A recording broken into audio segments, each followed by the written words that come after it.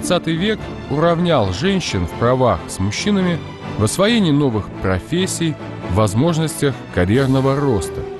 Однако в погоне за успехом многие стали забывать о главном своем предназначении.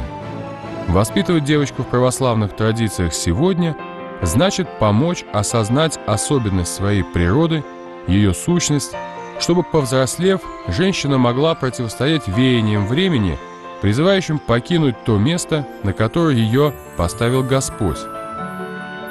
С 2014 года в поселке Безенчук Самарской области культурно-просветительский центр «Русское возрождение» при участии прихода в честь Святой Троицы ведет военно-патриотический клуб «Задруги своя», где мальчишек воспитывают защитниками своего отечества, прививая такие добродетели, как мужество, терпение, выдержка, сила духа. Посещать эти занятия могут и девочки.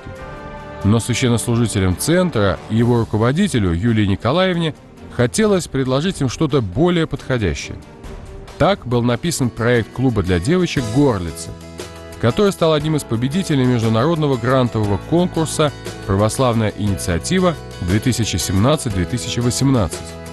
Этот проект Клуба Горлицы посвящен воспитанию девочек в духе э, русских православных ценностей.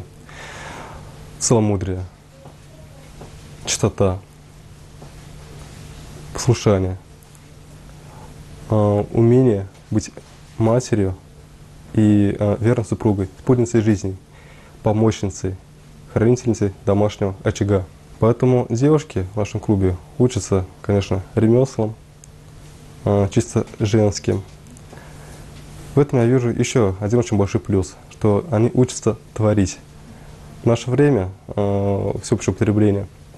Люди э, все покупают, все где-то берут, э, э, все потребляют. Но ничего, к сожалению, не делают сами знают какую-то узкую свою специальность.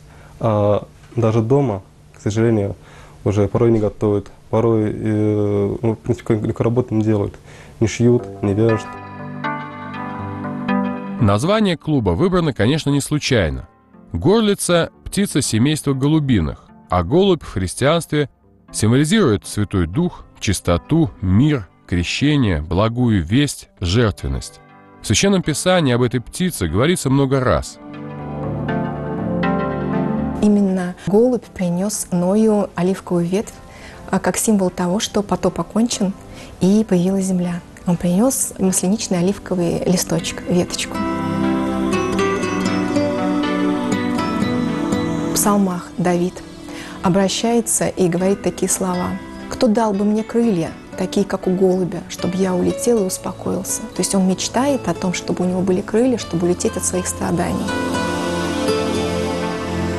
Книге пророка Исаи в Ветхом Завете тоже есть такая фраза.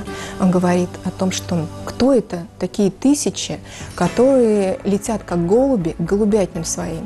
То есть он говорит э, о том, что о тех людях, о тех тысячах, тучах людей, которые придут поклониться Спасителю. В Новом Завете мы тоже встречаем образ голубя или горлицы. Мария с Иосифом пришли на Сретение в храм принести жертву за младенца Иисуса. По закону положено было, чтобы принесли агнца, ягненка.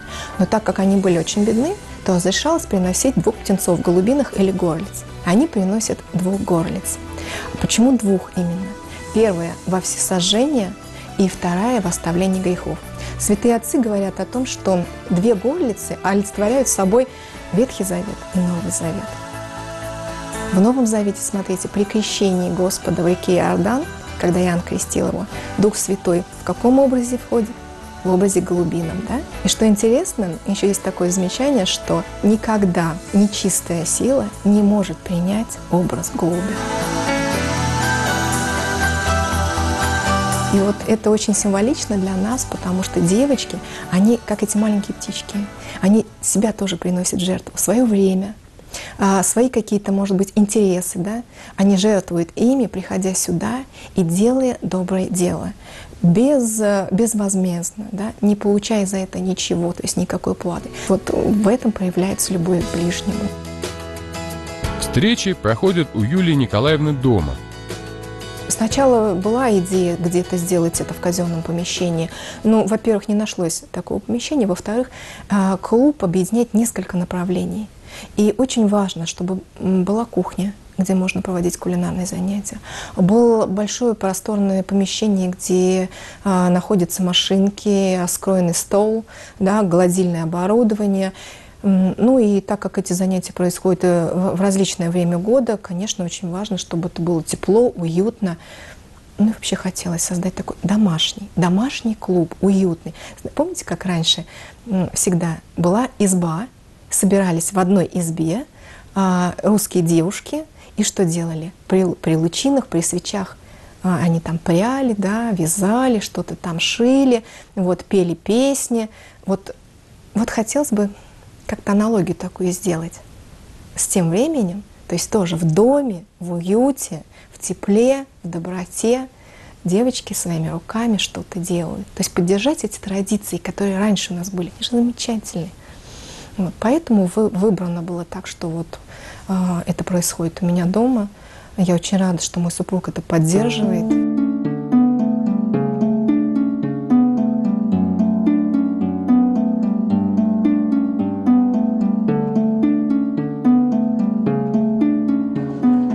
Как бы ни были обильны жизненные блага семьи, подрастающей девочке важно знать, что мир изменчив, и что только Господь знает, как повернется наша жизнь. Став взрослой, если понадобится, она могла бы не только сама перенести тяготы жизни, но и стать поддержкой своим близким. И здесь, конечно, пригодятся хотя бы минимальные навыки дружбы со швейной машинкой, с тканью. В клубе девочки сами раскраивают и шьют детские вещи – постельное белье, предметы текстильного декора, игрушки.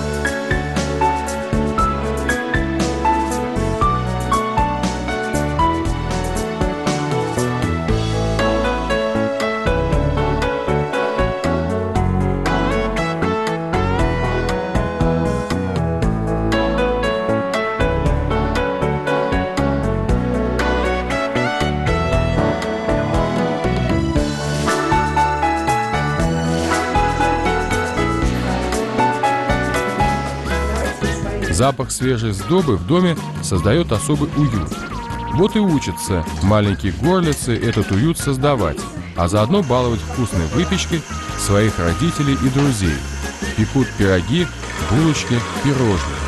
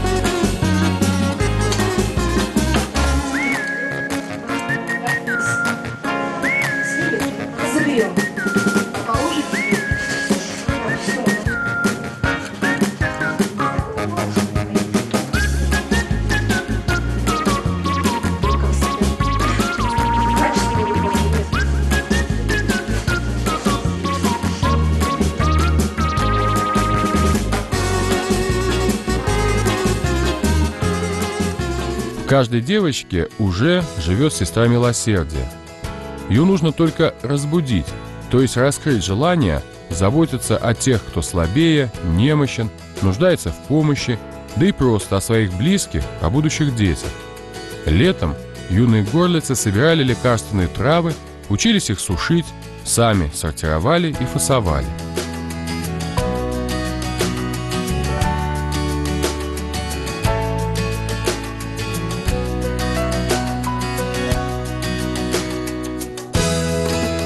У нас по Волжье такой регион, который очень богат лекарственными травами, очень многие занесены в Красную книгу. Вот. И не каждый человек может пойти позволить себе покупать достаточное количество трав в наших аптеках. Ну и качество сырья неизвестно какое. Здесь все-таки девочки собрались своими руками. А, зачастую с молитвой это делается. Рано утром они встают в 4-5 утра. Да, едут, потому что сбор трав осуществляется очень рано утром, когда еще э, роса на траве. Вот в этом очень помогает наш священник, отец Георгий. Он загружает всех в свою большую машину вот, э, и везет всех девчонок за, на сбор трав. Вот, собрали такие травы, как душица, зверобой, то есть очень нужные. У нас в больших количествах произрастают.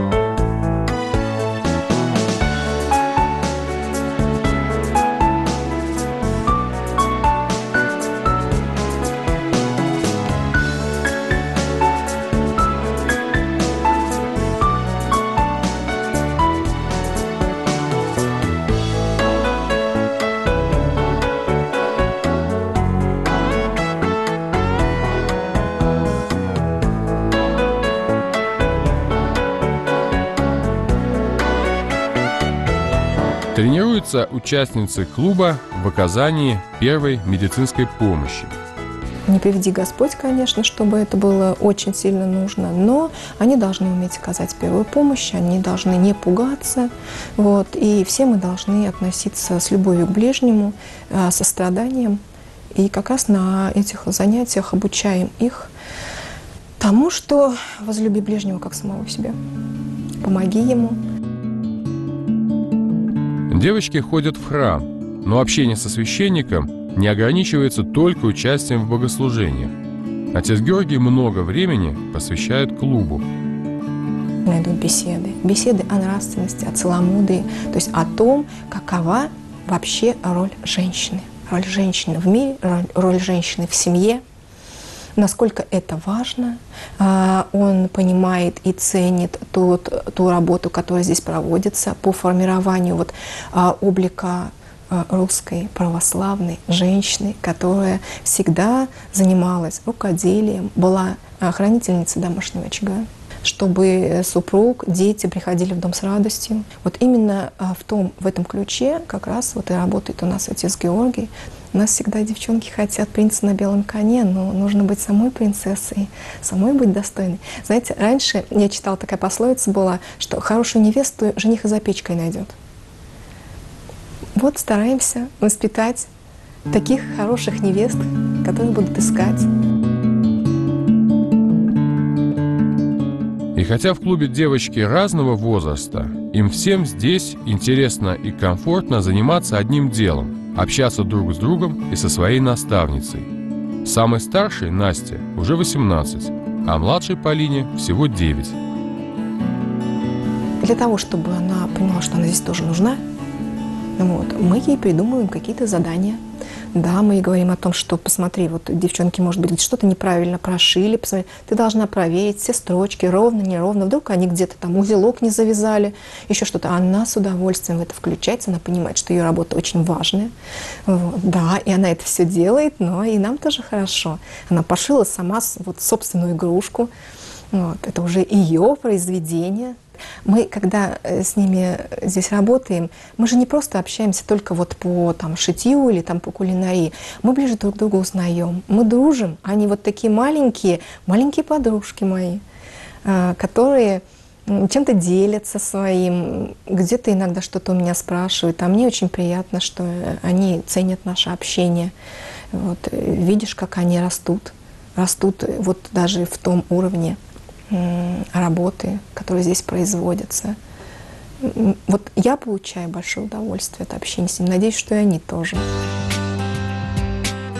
Домашняя обстановка клуба не предполагает большого количества воспитанниц, но это и не обязательно. Возвращаемся к Святому Писанию, к Евангелию.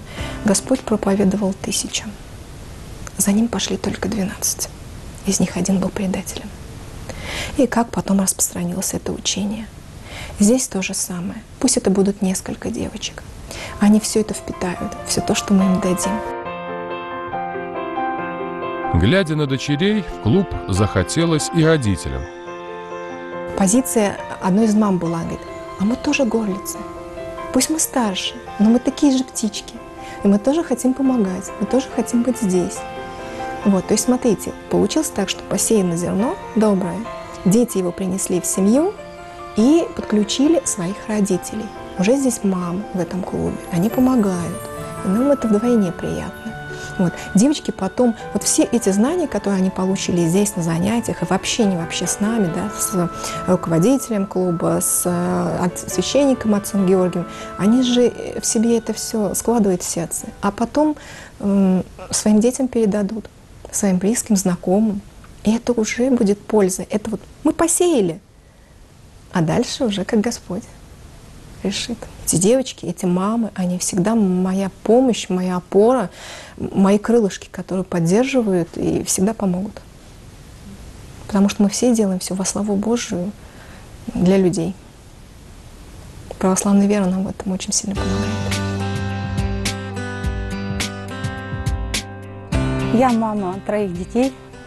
Две дочки у меня посещают клуб «Горлица». Им очень нравится. Особенно, когда они приходили на занятия валяния, валяли бусы очень красивые. Также лепили из теста соленого разные фигурки. Большим интересом Катя делает, и очень ей нравится. Также у них есть э, такое занятие, как э, кулинария, выпекает разные вкусняшки. Дома она это все приносит, как бы, и также через некоторое время дома начинает также выпекать. Э, недавно выпекала торт брауни, очень понравился шоколадный, прям получилось вкусно, угощала нас, разные пряники делает. Я знаю, где мой ребенок находится, чем занимается. Подрастет у меня младшая дочка, ей сейчас 7 лет будет в ноябре, я думаю, тоже с удовольствием будет ходить в этот же клуб. Больше всего вот шитье мне понравилось. Мы там разные, ну, вид, понимали, как надо правильно создавать разные вещи. Вот, я понимала, что всякие удивительные, например, как платьишки, распашонки, можно шить своими руками. Сначала не сразу получалось, бывало, что что-то там ломали, не так сшивали, но потом я научилась, узнала всего больше, чем в школе. У меня вот, ну, совершенствовать есть желание, ну, делать разные вещи, людям это дарить, помогать. Вот. Потом, мне это в жизни, конечно, пригодится, потому что, ну, что-то для себя сделать, что-то, например, для своих детей, для знакомых. В течение полугода птички как их ласково называет Юлия Николаевна, трудились во славу Божию. И осенью, как итог этого труда, было организовано несколько благотворительных акций. В конце сентября, перед самым началом ежегодного всплеска простудных заболеваний, девочки вручали сборы трав прихожанам церкви Святой Троицы.